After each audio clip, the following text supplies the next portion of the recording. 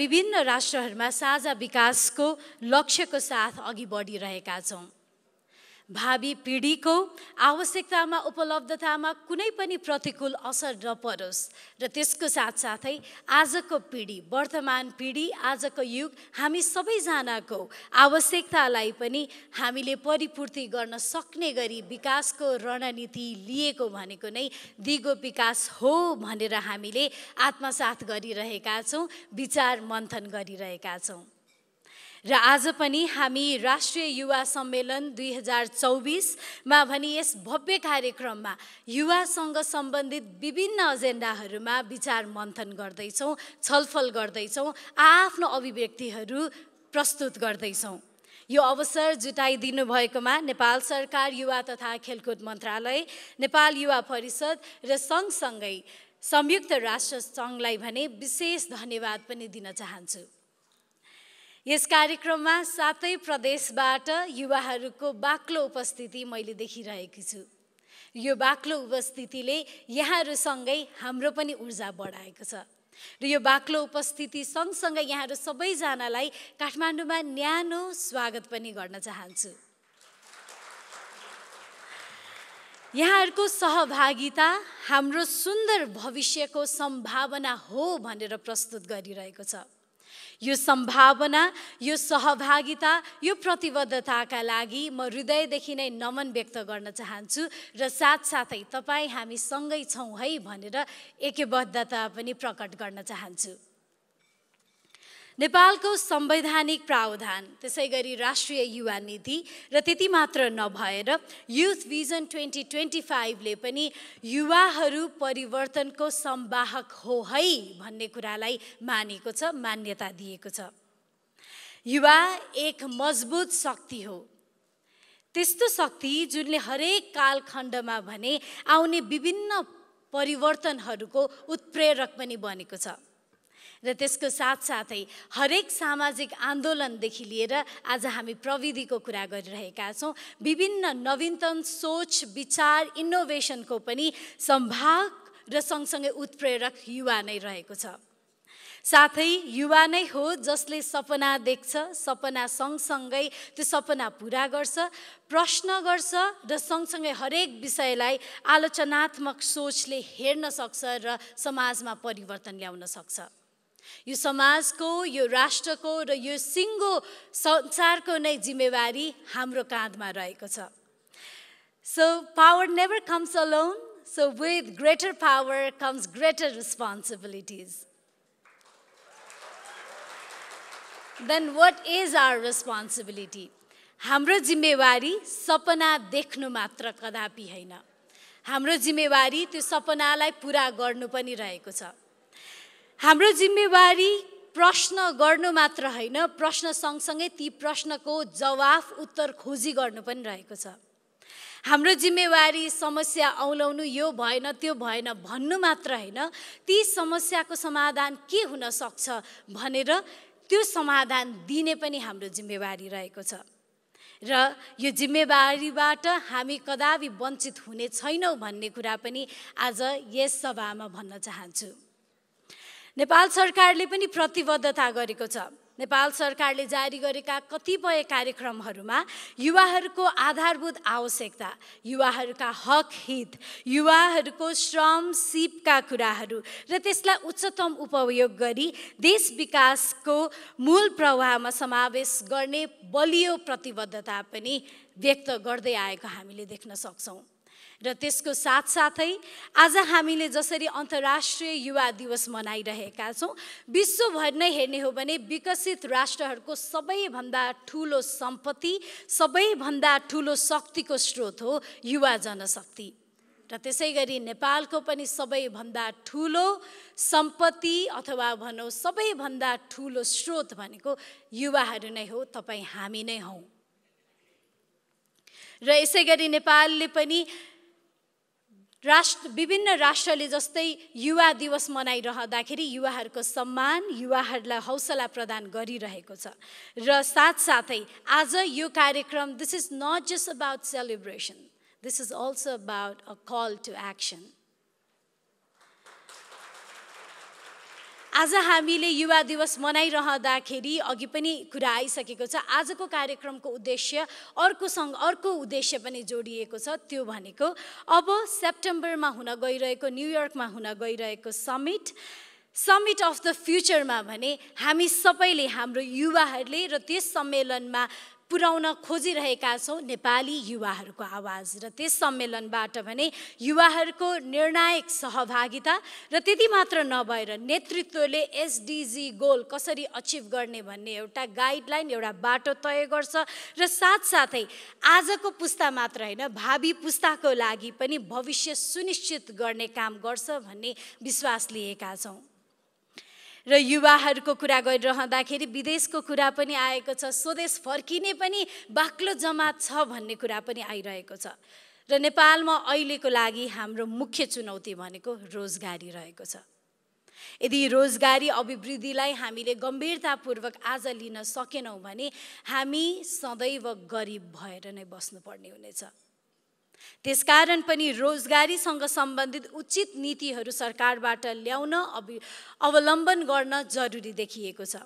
सक्रिय जनशक्तिको तथ्याङ्क विश्लेषण गर्ने जनशक्ति विकासको हालको प्रणालीमा रूपान्तरण ल्याउने सँगसँगै मानव पुँजीमा लगानीलाई जोड दिँदै स्वदेशमै उपयोग गर्ने नीतिगत र कार्यक्रमगत व्यवस्था गर्नुपर्ने दिशातर्फ भने अब सरकारले जोड दिनुपर्नेछ। थुप्रै चुनौतीहरू देख्छौँ। हामी म उपप्रमुखको पदमा बसिरहँदाखेरि पनि अथात् चुनौतीहरूलाई नजिकबाट निहाल्ने मौका पाएको छु। कहिलेकाहीँ ती चुनौतीहरू अविचलनीय देखिन्छन् पनि गाह्रो पनि देखिन्छ तर यद्यपि जति चुनौतीहरू गम्भीर देखिन्छन् त्यत्तिकै अर्को महत्त्वपूर्ण कुरा पनि मैले देख्ने गर्दछु। त्यो रहेको छ मैले युवाहरूभित्र अथाह सम्भावना देख्ने गर्दछु। मैले युवाहरूभित्र रहेको सम्भावना सँगसँगै युवाहरूको समर्पण जोस जाँगर र त्यति मात्र नभएर सृजनशीलता पनि देख्ने गर्दछु। जब हामीले यी विश्वास गरिएका यी खुबीहरूलाई सदुपयोग गर्न सक्छौँ गम्भीर देखिएका चुनौतीहरूको सामना गर्ने हामीसँग शक्ति पनि छ। र सँगै हामीले हाम्रो भूमिका परिवर्तनकारीको रूपमा आजको लागि मात्र होइन हामीले भविष्यको लागि पनि सोच्नुपर्ने रहेको छ। त्यसका लागि दृष्टिकोणमा स्पष्टता त्यसका लागि हाम्रो दृष्टिकोणमा स्पष्टता सँगसँगै नवीनता र एक उज्जवल भविष्यको खोजीमा अडिक रहनुपर्ने देखिन्छ। त्यति मात्र होइन। भविष्यको कुरा गरिरहँदाखेरि युवा जमातले इतिहास पढ्ने इतिहासको अनुसन्धान गर्ने इतिहासलाई इतिहासबाट सिकिएका कुराहरूबाट वर्तमानमा कर्म गर्नुपर्ने पनि देखिएको छ। र यसको अर्थ भनेको आजका मुद्दाहरूलाई सम्बोधन गर्ने मात्र हाम्रो जिम्मेवारी होइन। एक न्यायपूर्ण सम्मान र त्यसको साथसाथै दिगो भविष्यको आधार तय गर्ने जिम्मेवारी पनि हामी युवाहरूको रहेको छ। र यसपटकको अन्तर्राष्ट्रिय युवा दिवसको थिम पनि यति महत्त्वपूर्ण र राम्रो पनि रहेको छ र हामी आज आजको युगमा सबैभन्दा धेरै जोडिएको डिजिटल युगसँग जोडिएको पनि छ। दिगो विकास लक्ष्यमा प्रगति र समृद्धि डिजिटल प्रवर्धनमा भने युवा पहुँचको अभिवृद्धि। फ्रम क्लिक टु प्रोग्रेस भनेर जसरी यो पालि थिम राखिएको छ यसले हामीलाई अझ जिम्मेवार वहन गर्नका लागि पनि it has been asking us to be more responsible especially हामीले भने यो डिजिटल युगमा विकास हुँदै गरिरहँदाखेरि अनलाइन सक्रियले भने यसलाई विकृति होइन उद्यमशीलतासँग जोड्नुपर्ने सही समय आइसकेको छ। र यसमा पनि एक्लैले गर्न सकिँदैन हामी सबै सरोकारवाला निकायहरू एकजुट हुनुपर्ने आवश्यकता छ। And of course let's talk about youth in politics युवाहरूलाई र युवाहरूको राजनीतिमा सहभागिता हामीले छुट्याउनै नहुने अर्को महत्त्वपूर्ण पाटो छ। यसले आशाको बिम्ब पनि देखाइरहेको छ। यसपटकको विभिन्न निर्वाचनमा एक्काइसदेखि चालिस वर्षसम्मका युवाहरूको जनप्रतिनिधिका रूपमा निर्वाचित भएको तथ्याङ्क हेर्ने हो भने एकचालिस दशमलव एक नौ प्रतिशत रहेको छ। त्यसै गरी स्थानीय सरकारमा मात्र हेर्ने हो भने पनि अझ धेरै आशलाग्दो अङ्कहरू हामीले देख्न सक्छौँ। नगरको प्रमुखको पोजिसनमा भने सत्र दशमलव सात चार प्रतिशत उपप्रमुखको पदमा सडतिस दशमलव आठ आठ प्रतिशत गाउँपालिकाको अध्यक्षको पदमा चौबिस दशमलव तिन चार प्रतिशत उपाध्यक्षको पदमा एकाउन्न दशमलव पाँच दुई प्रतिशत प्रदेशमा हेर्ने हो भने तेइस दशमलव छ तिन प्रतिशत प्रतिनिधि सभामा तेह्र दशमलव शून्य नौ प्रतिशत रहेको छ र यो अङ्क अङ्क मात्र होइन। यो युथ इन लिडरसिप र अब देशलाई हाँक्छ युवाले भन्ने सङ्केत पनि हो।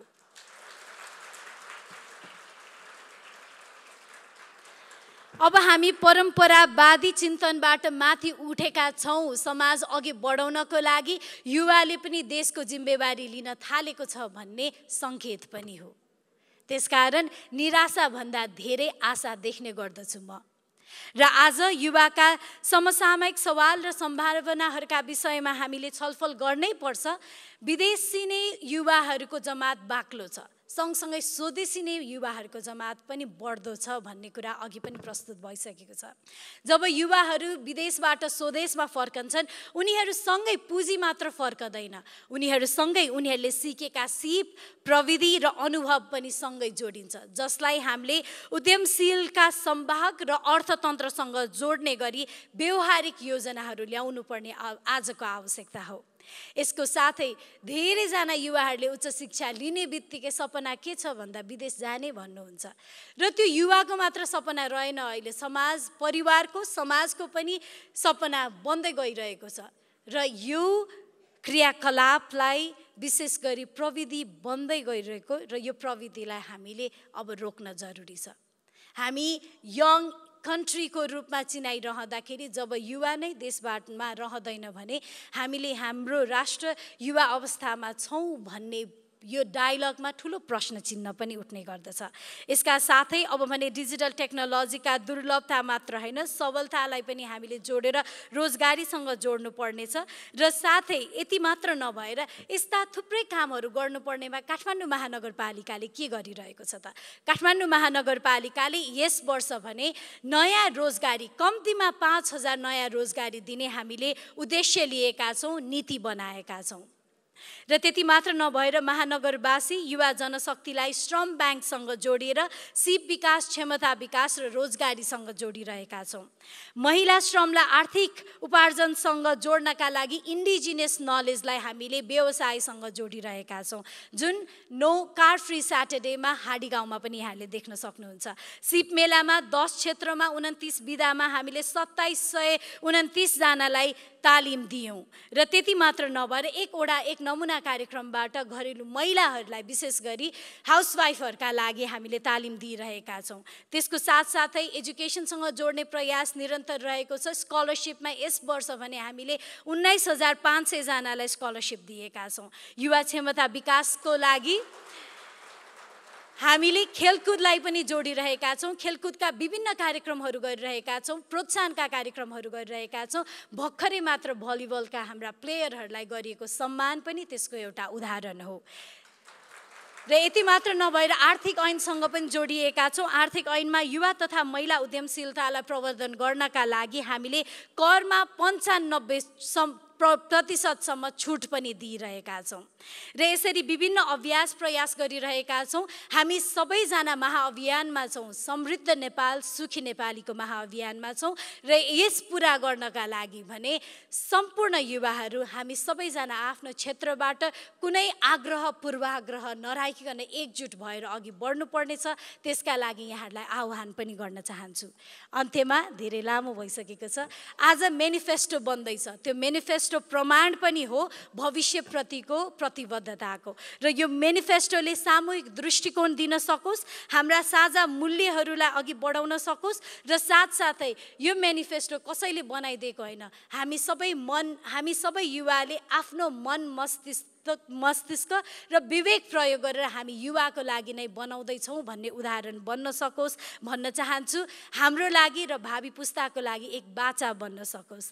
And at the end So, future is not something that just happened, it's something that we created, and we create it together. So let's work hand in hand to make a better future, not just for ourselves, but also for the generations to come. And not to forget, let's not forget the principle of three C's cooperation, collaboration, and coexistence. These three C's are the pillar of the future that we have dreamt of. So let's work together. So हामीले सोचेको जस्तो भविष्य बनाउने हो भने it depends on the decision that we make today. It depends on the action that we take today. And it depends on the values that we hold today. So let's work together for the future that we can be proud of. Old you will be proud of young you. And not just that, the next generation will be prouder of you.